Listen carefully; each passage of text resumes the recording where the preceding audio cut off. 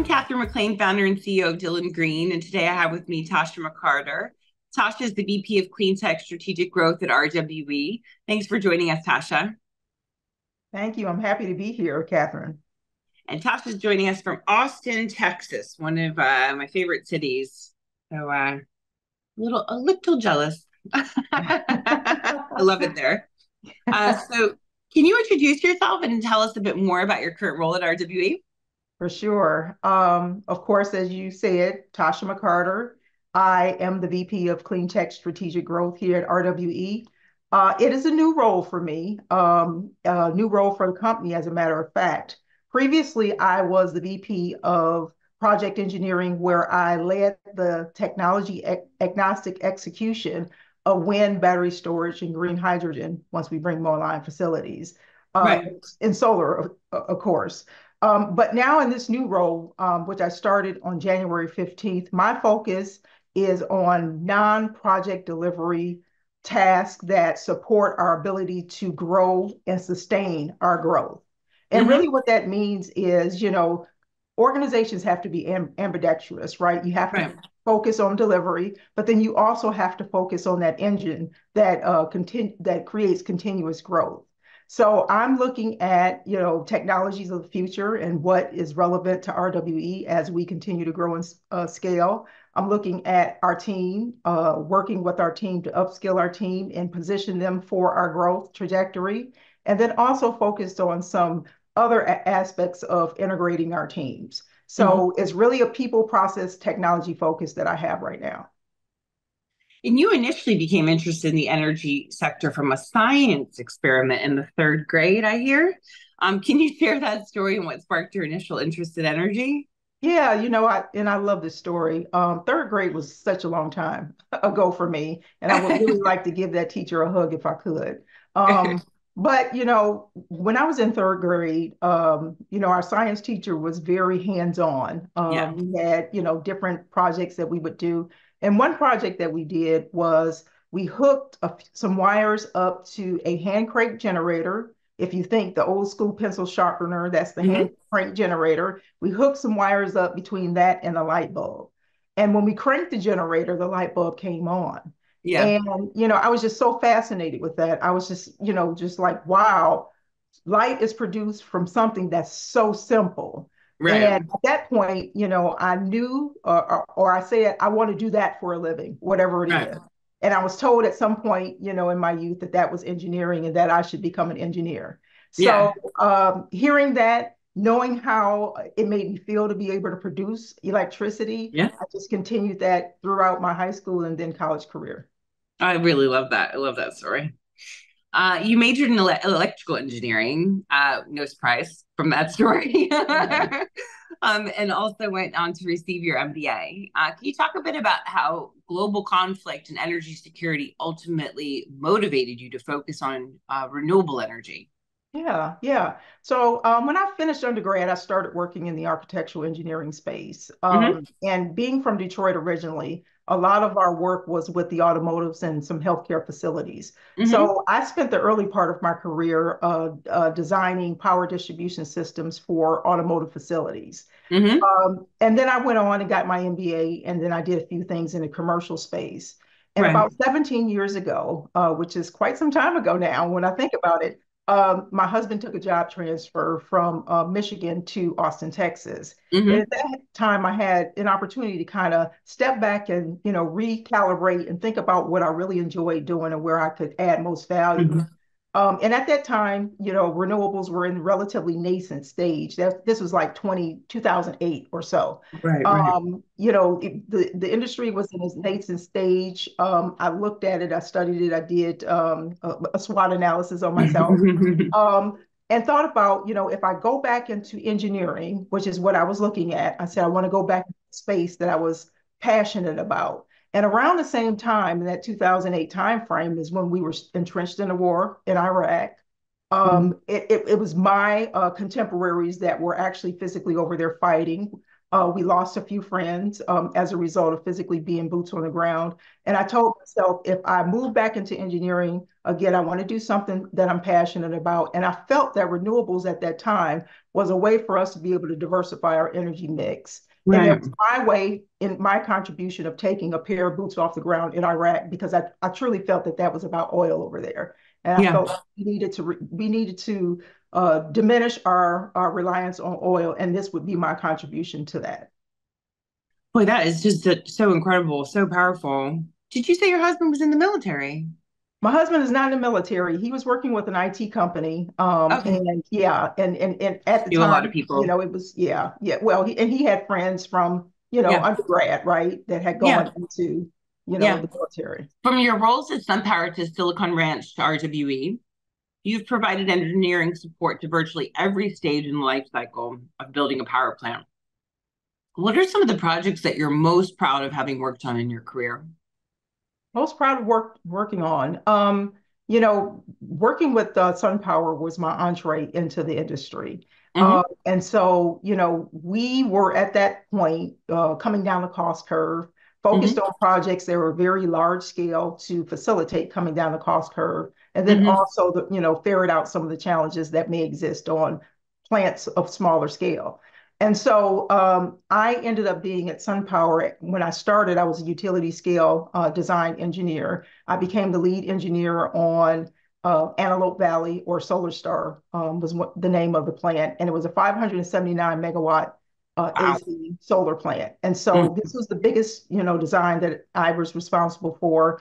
Um, it was one of the, the most challenging, obviously, mm-hmm. because again, we were learning about the equipment as we were deploying it. Right. Um, and, you know, at that point, you know, there was a lot of activity when it came to uh, uh, municipalities and engagement there. So it was a lot of things to, you know, uh, drive and manage and also uh, support the design. So that's the one that I'm, you know, most proud of because of the scale and scope and uh, just when it was. And I think this was in 2014 timeframe. Mm-hmm. Um, a few others that I'm definitely proud of. Uh, when I went to Silicon Ranch, you know, there were a number of, of Georgia projects, one in particular, mm-hmm. I was very involved with uh, delivering uh, as a manager, but more importantly, as a, uh, a, partner with the utility. And so some right. of the, the ways and approaches that we engage with the utility made me um, proud to deliver that particular project. You, I mean, it's so interesting to me too, because the projects that you're mentioning, like they're really from coast to coast. You've worked so nationally, re- really not sort of one region. It looks like that's true. Yeah. Um, According to the EIA, US battery storage capacity has been growing since 2021 and could increase by 89% by the end of 2024 if developers bring all of the energy storage systems they have planned online by their intended commercial operation dates. California, no surprise, has the most installed battery storage capacity of any state uh, with 7.3 gigawatts, followed by Texas with 3.2 and Arizona with 800 megawatts. RWE has successfully completed projects in these regions as a robust storage pipeline. What challenges do you see when it comes to scaling energy storage deployments, and how do you mitigate these challenges? Mm-hmm. Yeah. You know, so let me start with the fact to say that the grid was not designed for renewables and right. definitely was not designed for battery storage projects in mind. Right. Uh, so this alone makes it challenging because you're faced with integrating a new technology into an mm-hmm. existing legacy system. Right. And by the nature of battery storage uh, being uh, uh so diverse, and I would say that uh, diverse in the standpoint of energy storage can be a generator, Mm-hmm. Uh, it can be a load when it's charging. Um, it can be part of the critical infrastructure. And so when you look at the roles that battery storage plays, um, they can play multiple roles uh, in mm-hmm. any given setting. And our policy framework was not written to uh, support one single technology operating in so many different ways. Right. So I would say that you know the regulatory and energy uh, frame of the policy framework is say one of the biggest challenge because right now, as it stands, you know, when you go from region to region, ISO to ISO, you know, uh, NERC and FERC, you know, you have a different set of policies, you know, across all these different entities. Right. And so you really have to uh, get strategic in terms of how you pick your markets that you play in mm-hmm. based on the readiness of those particular markets, given some of those complexities. Mm-hmm. So, you know, RWE uh, as a uh, company is committed to finding, you know, that that path forward, uh, regardless of the market, uh, with the goal of scaling our uh, energy mix, uh, our our delivery mix from one percent last year up to twenty five percent. So we're wow. looking to the we're looking to deploy battery storage. It makes a lot of business sense, especially when you look at the Texas and uh, Arizona and, and, California markets. Right. And so we're committed to doing what it takes to, you know, support policy, shape policy, um, and, and drive technology such that, you know, the, it comes down the cost curve. So I would say just the legacy imp- the legacy construction of our energy system presents the biggest challenge, but we are we're committed to overcoming that challenge. Where do you see the most opportunity for growth outside of those three states? Just curious. You know, um, that's a great question. I think that, you know, we're starting to see some opportunities, say in the Midwest, mm-hmm. um, in Illinois, um, as mm-hmm. an example. Um, I would say that that would be probably the next big market. Um, yeah. I'm not sure about, you know, Georgia's uptake at this point. You know, I've spent some time in Georgia, of course, when I was with mm-hmm. Silicon Ranch, but I'm not sure about the uptake there.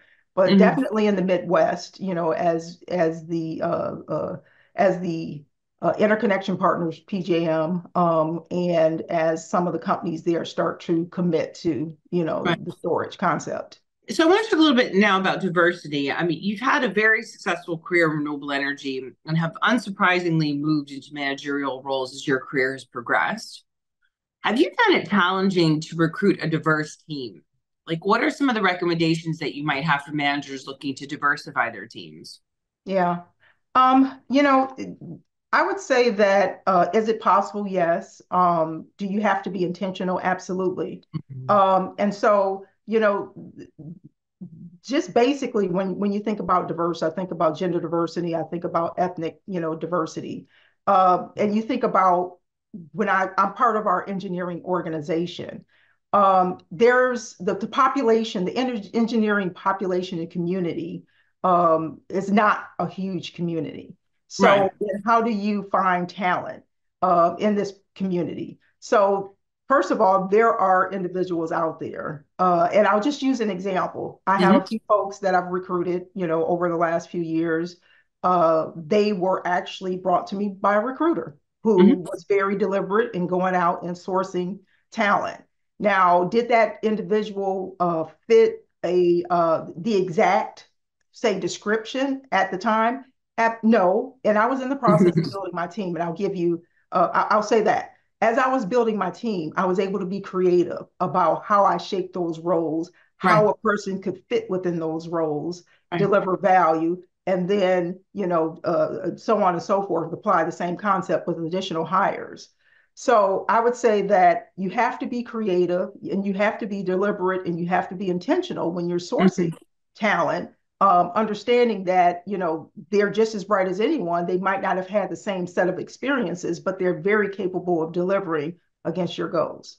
Yeah i, I think that's great. That's great advice.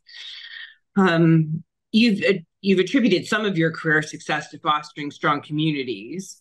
Mm-hmm. um, you've also been a big proponent of mentorship. Um, can you share more about the role that organizations like rise have played for you in your career um, I'd also like to hear more about your involvement with EDICT and Elemental Accelerator and ways in which you're giving back by supporting early stage career professionals. You obviously yeah. gave one example about hiring them, which is good. um, so if you could talk a little bit more about other ways that you're helping as well. Yeah, um, you know, mentorship is definitely very important. Um, and you know, uh, my interaction with Rise uh, came a little bit later in my career. Mm-hmm. Um, I, you know, Rise has probably been it was it was women of wind energy actually years ago. And i became a, a, aware of the organization when i was you know moved here to austin. I was looking away to get into the industry. Um, you know at that time you know the focus was a little bit different but as the organization pivoted to, to rise i really started to engage um, and uh, Kristen was the the executive director at the time uh, having dialogue with her uh, listening to some of the leadership forum content, participating in being mm-hmm. on panels when it came to the leadership forum. So it really, at this point in my career, was more of a give take where I would engage and support, mm-hmm. you know, the concept of mentor- mentoring and sharing my, you know, knowledge, but then at the same time learning from some of the more senior keynote delivery types mm-hmm. of individuals. So it was mm-hmm. that back and forth. Um, Accelerator, uh, accelerator in uh, my edict uh, interaction came through my experience with CELI. Mm-hmm. So a couple of years ago, I was part of the CELI cohort, and I believe mm-hmm. it was, you know, the pandemic. There were so many years that seemed to blend, blend mm-hmm. together. But I believe as I was in the 2022 class of uh, CELI. Mm-hmm. And that's when I became, um, and, and, and that's Clean Energy Leadership yes. Institute for those who don't know. Mm-hmm. Uh, but during that time, I became aware of the EDICT program. Um, and the EDICT program focus was primarily to uh, work with um, uh, uh women and people of color to bring them into the industry. So targeting college age students, giving them an opportunity to learn more about the industry so that mm-hmm. they could be conversant when they went out there and started to uh, explore the job market.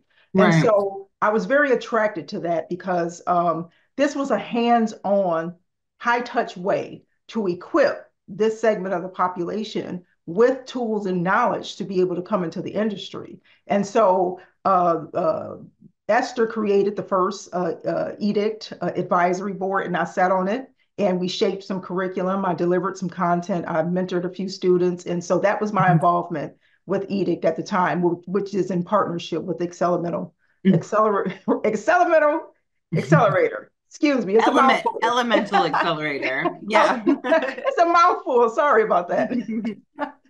what you know, it's one of the things that is interesting would be interesting to me is like how how did you find getting into the industry? Because I, I feel like back when you were getting into the industry maybe it was a little bit easier because it was such a new industry. Everyone was getting in the industry. Because mm-hmm. i just feel like now there seems to be this like resistance to hire people who are not from the industry. And and i just i continue to find it baffling.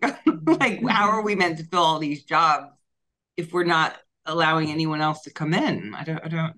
Yeah, and and and you know, it's interesting. To your point, uh, everything is about supply and demand, right? Right. Um, and so, you know, when I came into the industry uh, back in 2011, now granted, I had worked for a number of years both in the engineering commercial mm-hmm. space, mm-hmm. so yeah. I was bringing stuff to the table, though right. not a lot of people had, say, industry experience right. specifically. So when I pitched my background to, you know, the uh, individual that hired me, I had the functional background that was a right fit. Right. And so, you know, it made sense. Now, as you uh, look at it now, what, 13 or so, 14 years later, you're right in terms of how the industry has grown. And now people, in theory, would have three to five years mm-hmm. experience. Mm-hmm. People are now focusing on that past experience, right. which is really not a predictor to success, to be honest.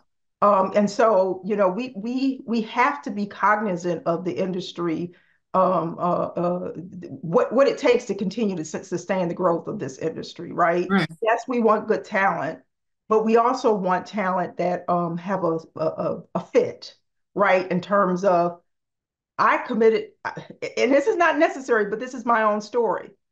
When I've ridden a solar coaster, and the reason why I've stayed on a solar coaster is because I'm committed to eradicating climate change. I was committed to diminishing, you know, boots on the ground. You right. know, we we have to, you know, look a little bit broader when we're sourcing talent because it's sometimes it's those individuals that are committed to the you know the, the concept of the industry but but may not necessarily have had industry experience that can be some of your best team members right i totally agree uh, the next question is titled calculated genius which I'm super intrigued by. Mm-hmm. Um, you're also involved in an organization called Calculated Genius. Tell me about this and why you decided to support it. Yeah, um, Calculated Genius is headquartered in Chicago, Illinois, mm-hmm. and the founder, um, uh, Kim, and I'm going to, I just I cannot place her last name right now, but Kim um, is an African American um, a woman who owns a uh, engineering design um, uh, firm. And uh, I think she probably has the largest engineering design firm in the nation. She's flown under the radar for years.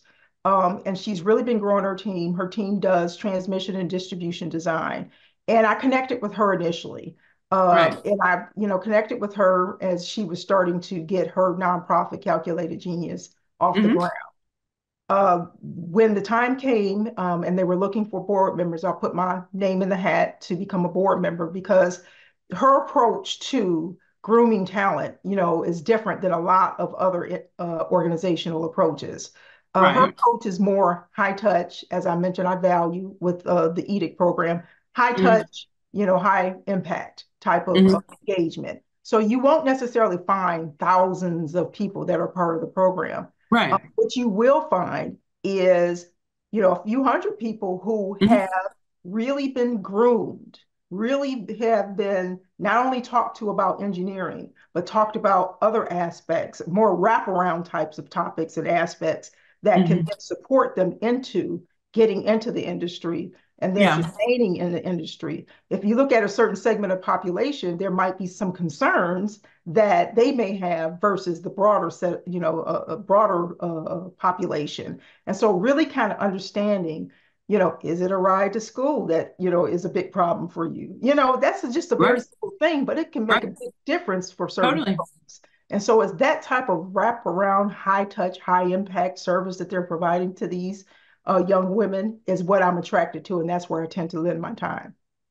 Uh, Kimberly Moore. More. Thank you. Thank yeah. you. Sorry, Kim. yeah. yeah. Um, okay, great. Well, thank you so much for taking the time to speak with us, and I really wish you the best of luck in your uh, in your new role at RWE. Thank you.